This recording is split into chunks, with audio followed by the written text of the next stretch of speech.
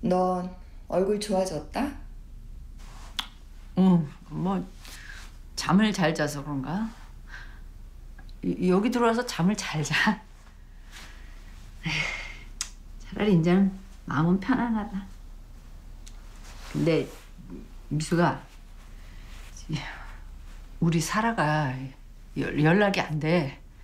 나한테도 안 오고. 너 혹시 우리 사라 소식 아니? 어머? 너 지금 나 사라 때문에 여기까지 오게 한 거니? 어, 미수가 어디서 어떻게 지내고 있는지 네가 우리 사라 좀 찾아주라.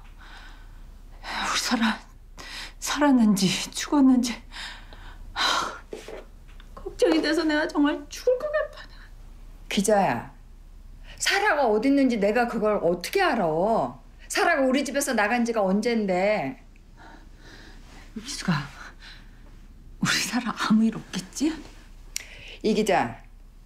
세상 아무 탈 없이 살고 싶었으면은 니네 모녀 둘 다 그렇게 나쁜 짓 말았어야지. 안 그래? 솔직히 나 네가 그렇게 통사정을 해도 여기 안 오고 싶었어. 근데 마지막으로 그간의 정 때문에 온 거야. 그러니까 기자야. 앞으로 다시는 나한테 연락하지 마. 이걸로 너하고 인연 그만 끊고 싶어. 나 이 얘기 하려고 온 거야. 미, 미수가 어. 내가 영치금 좀 넣었어. 그만 갈게.